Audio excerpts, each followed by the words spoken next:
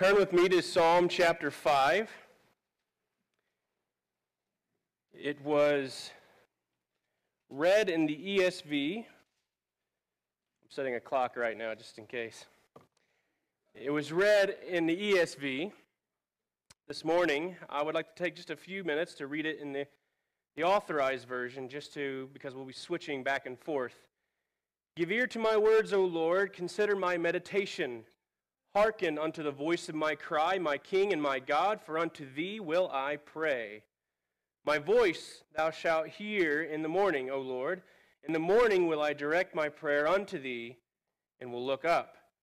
For thou art not a God that hath pleasure in wickedness, neither shall evil dwell with thee. The foolish shall not stand in thy sight. Thou hatest all the workers of iniquity. Thou shalt destroy them that speak leasing, and the Lord will abhor the bloody and deceitful man. But as for me, I will come into thy house in the multitude of thy mercy, and in thy fear will I worship toward thy holy temple. Lead me, O Lord, in thy righteousness because of mine enemies. Make thy way straight before my face. For there is no faithfulness in their mouth. Their inward part is very wickedness. Their throat is an open sepulchre.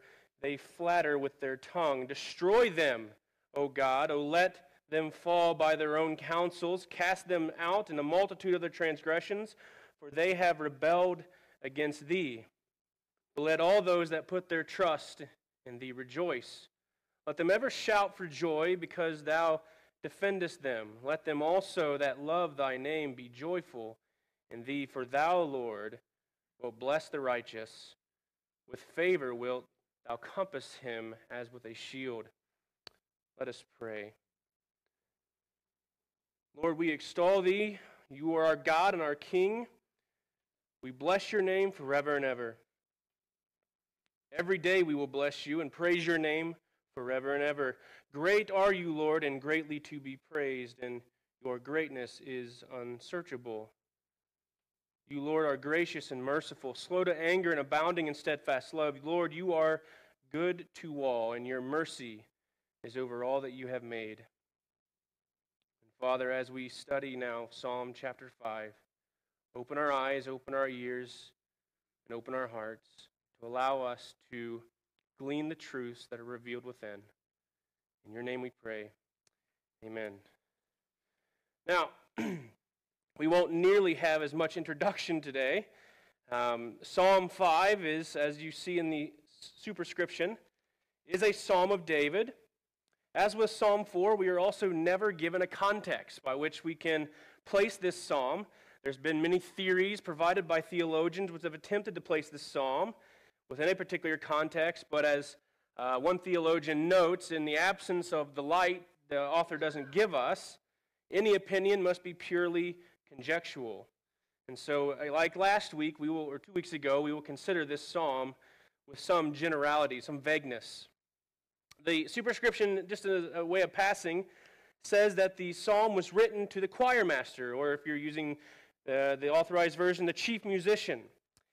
Uh, the psalm was to be played, and pardon my pronunciation, but if you read the authorized version, it says the Nehilath, which is, there is some debate, which we won't go into, but uh, most typically it's considered to the flutes or to the wind instruments. As the psalm last week was written, intended to be played on the string instruments, this one was intended to be played on the uh, wind instruments, which is why you see in the superscription uh, for the flutes in the ESV. But uh, we will progress.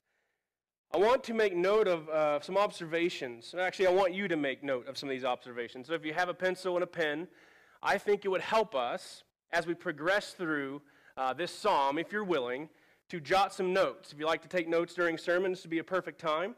Uh, not what I say. Don't, don't necessarily jot down what I say, but jot down what you learn. Primarily, I want you to do three things. I want you to note what you learn about God. Keep track of what you learn about God, His nature, His behavior, His actions, etc., and etc. And secondly, I want you to note or jot down or observe two types of people that are revealed in this psalm the righteous and the unrighteous. Jot down notes of their behavior, their nature, and their actions. Uh, in the psalm, David will stand in the place of the righteous. He will take the, the place of the righteous in the psalm, but eventually extends this place to all those who take refuge in God or put their trust in the Lord. And then finally, I want you to note that the Lord's actions against these two people. What is the Lord's thoughts and actions against these two types of people, respectively? In doing so, I think we will be left with the psalmist's intention for his readers and what the Lord would have us to read here today. And so let's begin in Psalm chapter 5, verse 1. The psalmist says, Give ears, give ear to my words, O Lord. Consider my groaning. We'll continue in just a first section of verse 2. Give attention to the sound of my cry.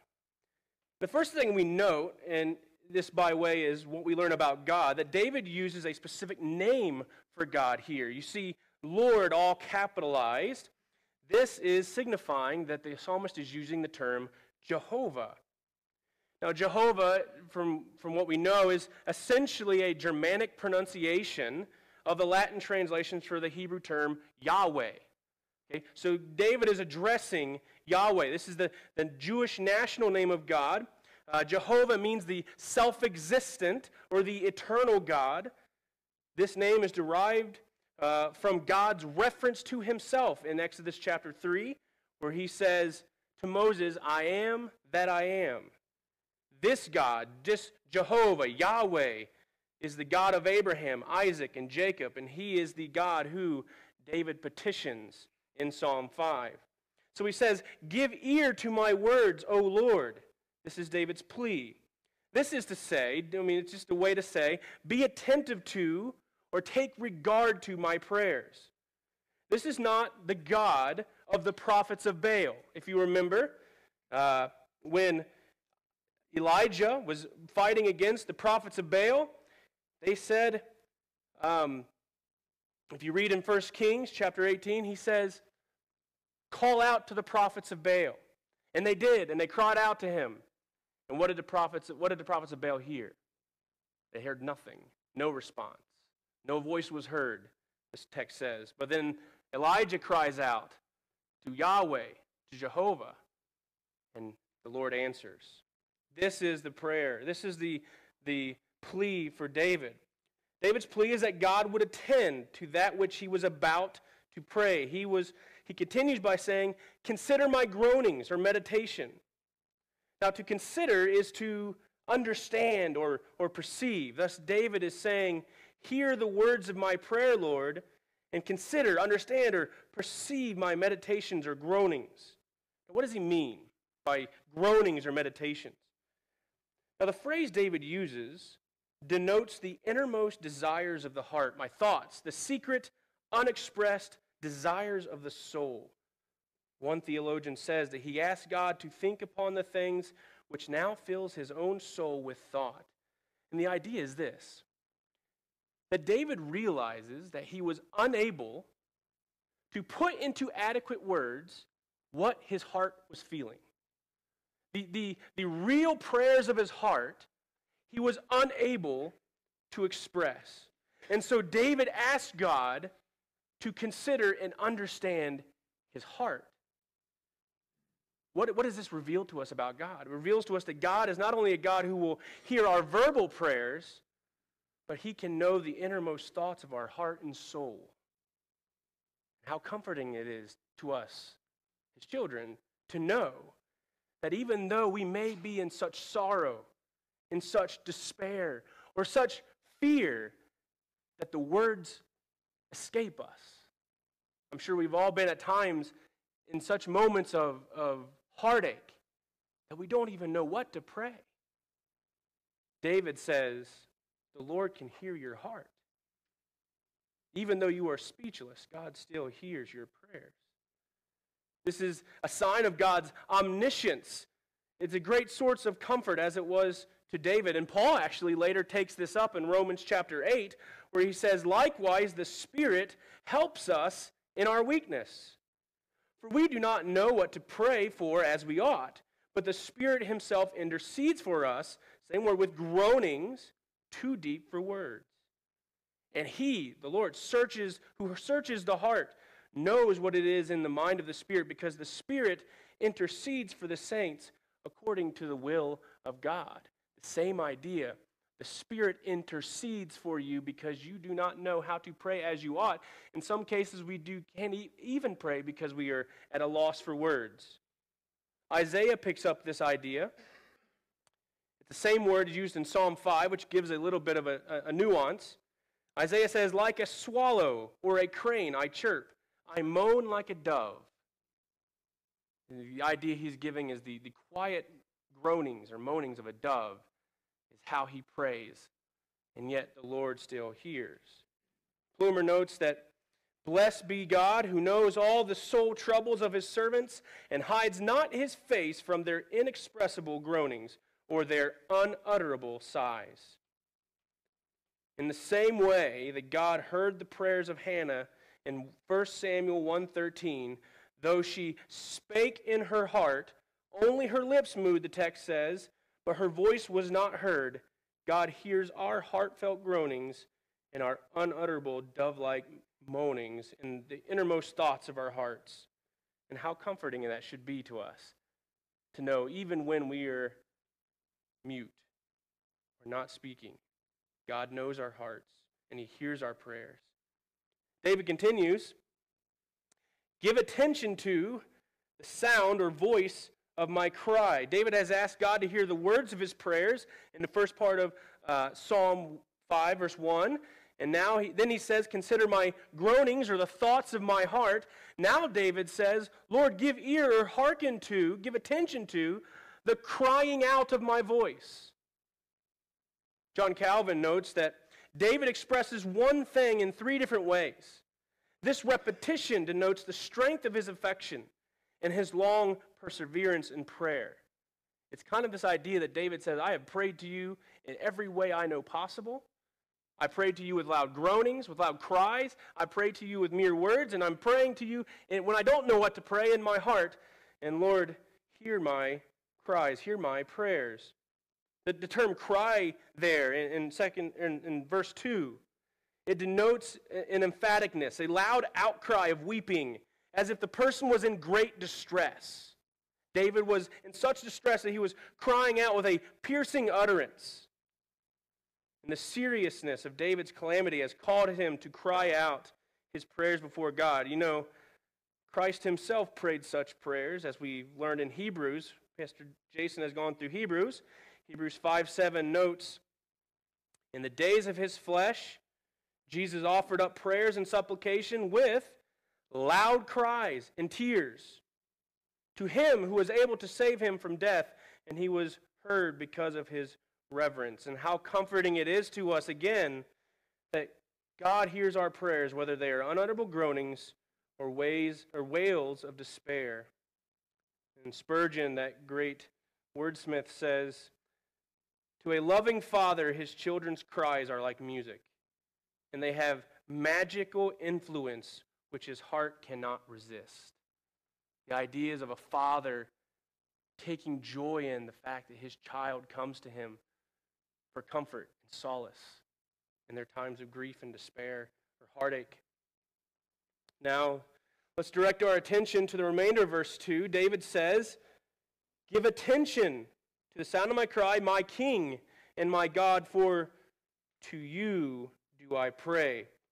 Notice that David's words, the Lord Jehovah, was David's king and God. Jehovah was David's king and, and David his subject. Jehovah was David's God and David was his worshiper. But notice also the personal touch. He's not saying that God, you are simply king and God. No, he's saying you are my king and my God. A uh, theologian named John Gill says, The Lord was David's king in a civil sense and in a spiritual sense. Though, though David was king over others, yet the Lord, who is the King of kings, was king over him. And he was his God, as being his covenant God and Father in Christ, the God of all grace, in whom David loved, believed in, and worshiped as his God. This Jehovah is the King of kings and, gods of, and God of gods. There is none greater than he. Thus, to him, to him only, does David direct his prayers. David says, For unto thee will I pray, or for to you do I pray. So, how then does David go about praying? Look at verse 3. O Lord, in the morning you hear my voice. In the morning I prepare a sacrifice for you, and I watch. The authorized version says, I direct my prayer unto thee and look up. In the morning, David directs his petitions to God. He seeks God early, as, and that means in some word way to, uh, to seek Him in an earnest sense, earnestly. It denotes an, an intentionality in David's prayer life. David begins intentionally his day by making his petitions to the Lord. And one theologian says that the man who gives his first waking thoughts to God will not be indisposed to acts of devotion at later hours of the day. This is a resolution, if you will, of David. He is committing himself to waking up in the morning and praying. Now, if you're following along uh, in, an in, authorized version, a King James version, you'll notice a, a slight difference in the end of uh, verse 3. The ESV says, In the morning I prepare a sacrifice for you and watch. The King James says, I direct my prayer unto thee and look up. And the reason for this, it's, it's quite interesting, is that the word which David uses, direct, uh, it means to set in a row or to arrange or to put in order.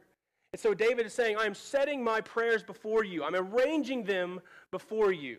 That is to direct them to the Lord. The same word is used when the priest would walk into the temple or the tabernacle and arrange the sacrifice upon the altar or arrange the showbread upon the table. It's the same word. That's why the ESV takes it as a sacrifice. And so I think either way, it gets across the point that David is arranging his prayers, whether that is by way of sacrifice or whether that is by way of direction. He's arranging or laying his prayers before the Lord in the sense that he is directing them towards God. Now, having made his petitions, David watches or looks up. Now, he uses here an interesting uh, metaphor or image that of a tower watchman who has he knows of a messenger who has been sent out and he is waiting for the first sight of this messenger to return and so david says like a tower watchman i am watching you lord and waiting for your answers that's kind of the idea. David is saying, I am awaiting eagerly, expect, expecting. That was my hillbilly came out, sorry. Expecting the Lord to answer my prayers. Thus, David says, he wakes up early to present his prayers to the Lord, and having done so, he waits expectedly for his Lord's answer and let us pause here just for a moment and reflect as to whether David's prayer life reflects our own. Do we pray intentionally? Earnestly? Do we pray early? Do we thoughtfully arrange our prayers before the Lord? And do we look for an honest and eager expectation of the Lord's reply? I, I got to be honest with you. When I was studying for this sermon, in all the times that I've studied for sermons and prepared for sermons, this text has been the most challenging and wonderful to study. It really has. And if I could give you just simply 10% of the joy that I had in studying for this song, if I can have you leave with that, I, I would be glad. This is absolutely a wonderful song.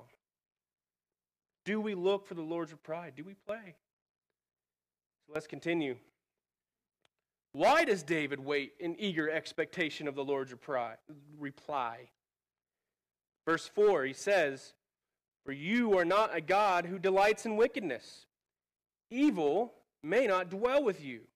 See, up till now, the reader has been informed of the, uh, uh has not been informed of the content of David's prayers. In the same way, we are not given specific details. However, from what we can ascertain, his prayers were against his enemies.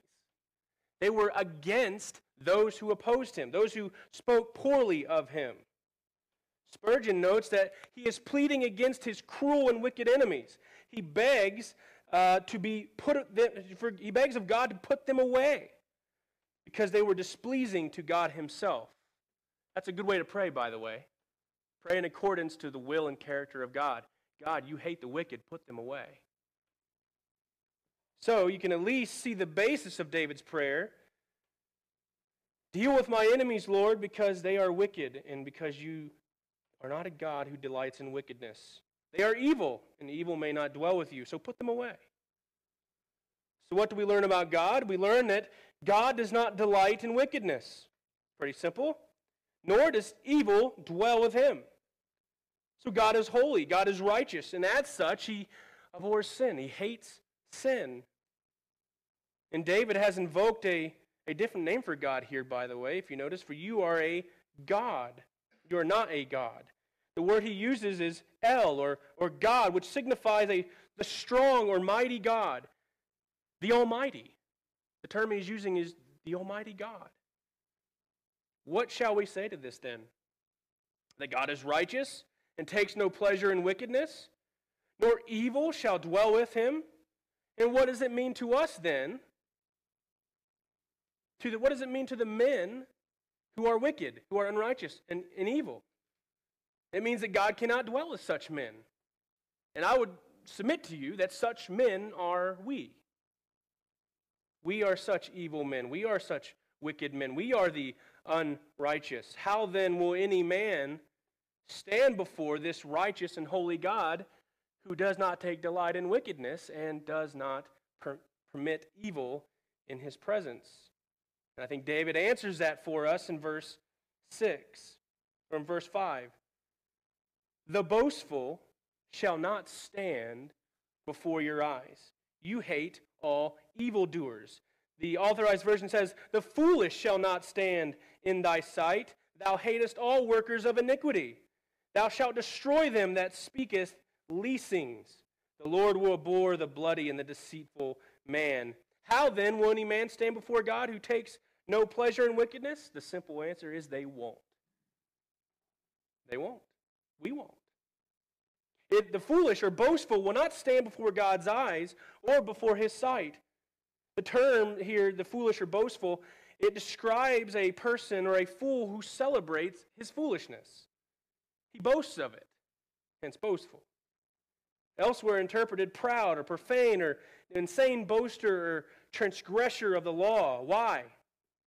Why will they not stand in his presence? Because God has no pleasure in wickedness and by association, the wicked man. Evil cannot dwell with him, therefore, neither can an evil man dwell with him. And simply, we notice that God hates evil doers. Now, this, is, this should be shocking to us in our kinder, gentler evangelical world. God hates sinners. Okay? God hates sinners. It is true. Psalm 11:5. The Lord uh, the Lord trieth the righteous, and the wicked in him that loveth violence, his seal, his soul, I'm sorry, his soul hateth. And we probably heard it said that God hates the sin and loves the sinner. And when in fact, these two passages show that that is not true. These, those that do greatly slander God, who teach that he will punish sin only because it is opposed to his law and his will, and not because it is opposed to his infinite, eternal, and unchangeable rectitude. So repugnant to God's nature is iniquity, that he would not save even his own elect, except in such a way that should fully and forever put away both the guilt and the stain of sin, and bring all conceivable odium on transgression. God would not even spare his own son when he stood in the place of sinners, lest he might seem to spare sin. Could he cease to hate it, he would cease to be worth of love and confidence. Nor is it merely some forms of sin that God abhors, but he hates all workers of iniquity. And that quote was by Plumer. Now, before you start leaving with weeping and gnashing of teeth, know that Romans 5 8 is equally true. But God shows his love for us in that while we were yet sinners, Christ died for us. So you have this, this really interesting dichotomy in the scriptures where God hates sinners because he hates sin, but also he loves sinners, those to whom he has given his son. Well, then, how can God both love and hate sinners? Well, for the sake of time, that we'll leave that for another day. Verse 6 You destroy those who speak lies. The Lord abhors the bloodthirsty and the deceitful. God will destroy those whom he hates. He will destroy wicked men, evildoers, boastful, foolish, workers of iniquity, liars, and murderers, and men of deceit. All that taken from Psalm 5. He will destroy them because he hates them, he abhors them. One theologian says when God destroys, the ruin is utter and the wrath is terrible. So God stands to judge sinners. He judges sinners because they are sinful, and he hates sin, and he hates the sinner. But, David says, and this should cause us a moment of rejoicing, but David says in verse 7 I, through the abundance of your steadfast love, or if you're reading the authorized version, in the multitude of thy mercy, will enter your house. I will bow down toward your holy temple in fear of you. Now, we should hear this. David has been revealing the other contempt and hatred of God towards evil men, of whom we are all included. But, says David, he will come to the house of the Lord. When all men be banned from the presence of God because all men are evil and, and God cannot dwell with, with evil, David walks into the presence of the Lord. And we ask ourselves, how is this possible? Why can David walk into the presence of the Lord as a sinful man, knowing that God hates sinners? God cannot be in the presence of evil. And David's answer is through the abundance of your steadfast love, or the multitude of thy mercy. The reason David is able to stand in the presence of God is out of the sheer mercy and grace of God. Spurgeon notes, I will approach with confidence because of thy immeasurable grace. David's assurance is, of, is undoubtedly wrapped up in the faith in God's covenant, as is all God's children's hopes. Now, this is, if you hear nothing else today, hear this. God is rich in mercy, John Gill explains, abundant in goodness and truth. There is a multitude of mercy, love, and grace in his heart, and which is stored up in his covenant and displayed in his Son, and the provision of him as a Savior of lost sinners. Abundant mercy is shown in regeneration, in adoption, and in the forgiveness of sins and every spiritual blessing and the gift of eternal life. And now, not relying on his own merit, strength, or righteousness, or leaning upon his own understanding, but trusting in the mercy, grace, and the goodness of God in Christ, and in hope of finding more grace and mercy and help in the time of need, with thankfulness for what he has received, he, being David, or all Christians, determines by divine leave and assistance to enter into the house of the Lord. End quote. This was David's confidence. His confidence was in the mercy and grace of God.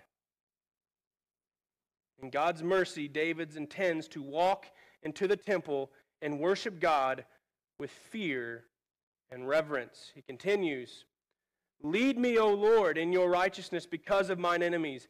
Make your way straight before me. What a marvelous prayer David prays here. He desires to be led by God according to his righteous ways and righteousness. The very righteousness, by way, in Psalm 4:1 is David's. And it's what enables him to stand before God. This righteousness is not David's own righteousness, it is the Lord's. David does not desire to be led by his own righteousness because his own righteousness is often found lacking. Our own righteousness is described as dirty rags. Why would you want to follow a failed righteousness?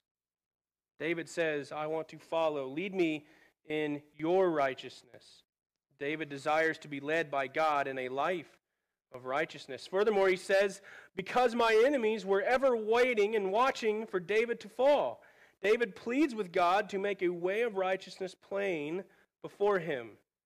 For the way of for the way of God is the way that pleases God, and David is asking the Lord to make his righteous way plain to him, so that he may know how to walk in a righteous manner. And David asked the Lord to, to lead him in this way because of uh, his enemies, or because of, in other translations, those that observe me. The idea is that David knows that there are men waiting for him to fall and watching for him to fall. And in doing so, will not only uh, cry out against David as re- losing the Lord's blessing, but will also cry out and shame the Lord because David was his anointed. And we can fast forward to Psalm chapter 23, where David says, He leads me in paths of righteousness for his name's sake. That was David's prayer. The Lord answered his prayer. Now, David reveals why his enemies are those who observe him, lie in wait, and, fa- and, and wait for his falter, his demise. And he says in verse 9, For there is no truth in their mouth. Their inmost self is destruction. Their throat is an open grave. They flatter with their tongue. Here, David summarizes the character of those men who lie in wait, his enemies. There is no faithfulness or no truth in their mouth, David says. This is to say they lie and they are full of lies. Calvin again notes that they, they speak nothing uprightly or in sincerity. And I'm reminded, if you remember, from Psalm 3, where he says, Many are saying of my soul, there is no salvation for him in God. They speak nothing truthful, and nor do they care. This was obviously untrue, that there's no salvation for David and God, but those who spoke such words didn't regard whether it was true or not, as long as it was against David.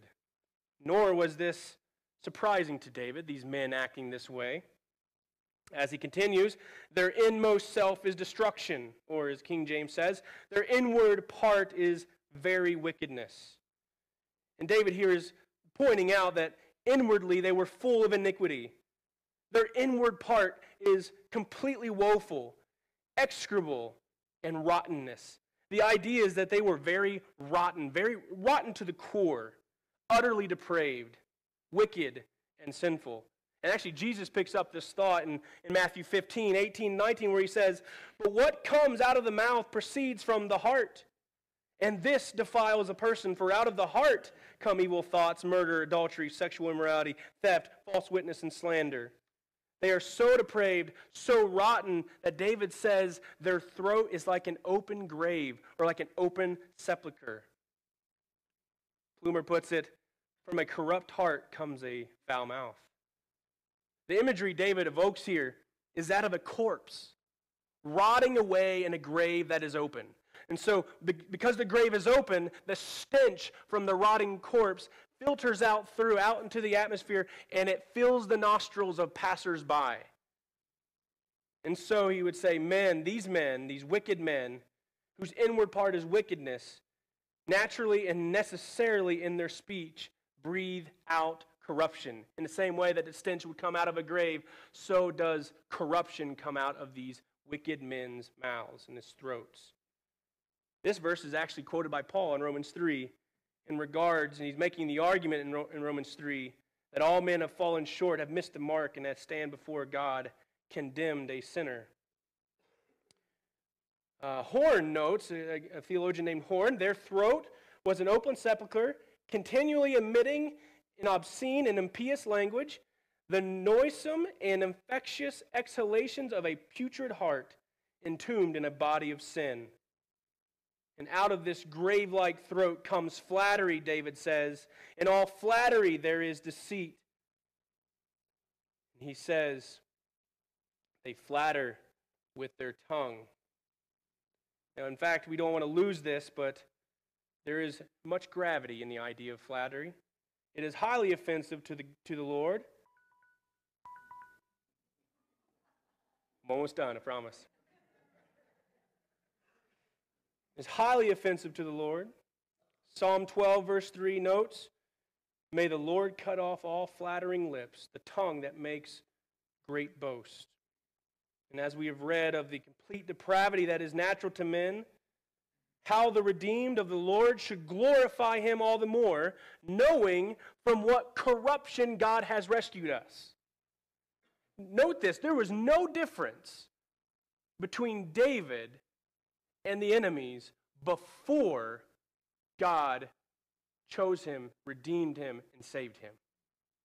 David realizes this. This is why he says, You are the God of my righteousness. The only way I can stand before you is simply because you are merciful and that you have provided the righteousness for me to stand before you. Wonderful. Now then, David proceeds to call upon God to do that which is natural for God to do. As he says in verse 6, God destroys evildoers. Thus, David invokes this truth. Make them, he says, bear their guilt. O God, the King James says, destroy them, O God. Let them fall by their own counsels. Because of the abundance of their transgressions, cast them out, for they have rebelled against you. There's not much more we need to say about this. It's pretty straightforward. The psalmist is asking God to judge the sinful. The word destroy here in, in the authorized version, it means to make a decision or a judgment, to, to make a judgment against them, to find them guilty. Hence the ESV's reading. David condemns, and he continues, let them fall by their own counsels. And just as Haman was hanged on the gallows he had erected for another person, so the wicked one continually falls by their own devices. David then pleads with the Lord to cast them out because of their rebellion in God. And honestly, this is probably the most extreme language you could ever speak about to another person. David is asking the Lord to cast them out in their sin. That's shocking. That is absolutely shocking. To be cast out amidst their sin, having never repented. Jesus says it this way You shall die in your sins. To be cast out is final. Your end and destruction is certain. Now, for a brief moment, we won't go too far into this again for the sake of time, but consider what David is praying here. This is the first instance in the Psalter that you will find what's called an imprecatory psalm. It is a portion of a psalm or an entire psalm itself in which the psalmist, in this case David, is praying for the destruction of sinful men.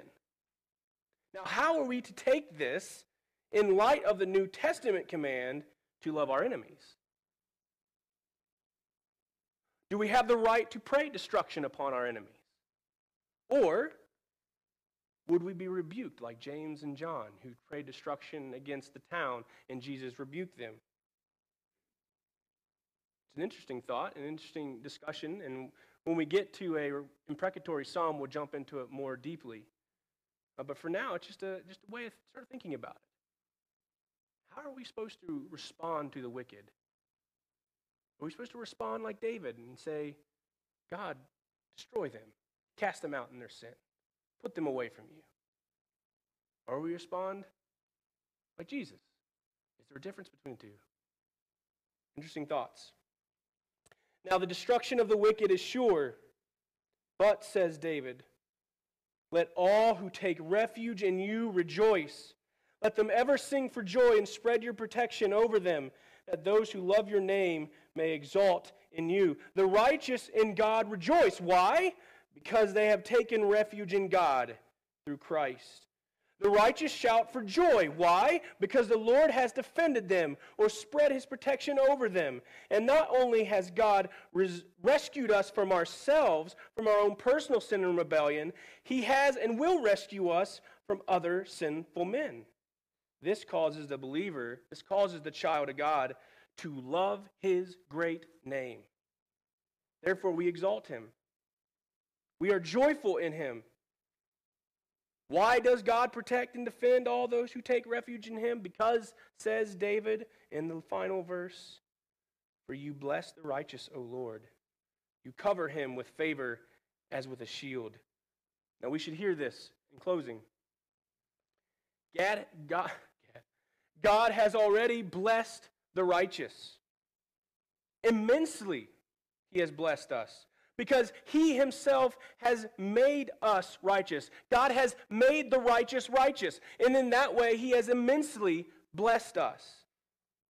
We are not righteous in and of ourselves, but God has granted this to us, his own perfect righteousness in Christ. God is, as David says in Psalm 4:1, the God of our righteousness. Yet, the psalmist says, God continues to bless the righteous with his sovereign protection and favor. Plumer notes every good thing the righteous receives from God is of God's grace and sovereign mercy. It is of favor, not of debt. That's interesting. We don't deserve it. It's of his favor, of his goodwill. And he says, The righteous deserve no good thing. The righteous, our righteousness is of filthy rags. What they are and what they hope to be is all by the grace of God. This then, in closing, my final paragraph, this then is the righteous, the song of the redeemed. That God has rescued the righteous out of his sheer mercy and grace and his steadfast love. And not only has God rescued, rescued us out of his mercy and grace, but he will lead us, the righteous, in the ways of his righteousness. And not only will God rescue us, or has rescued us, not only will He lead us and continue to lead us, but He will continually bless the righteous and protect them out of His mercy and grace, out of His sheer favor. This is the God to whom David was praying to in Psalm 5. This is the God to whom we worship this morning. This is the God of our righteousness. And again, we are left with the question Are you among the righteous? Or are you among the wicked? The wicked's end is destruction, yet the Lord knows the way of the righteous. He knows those who take refuge in him, and he blesses them. and David's commission for us today, if you would, take refuge in Christ.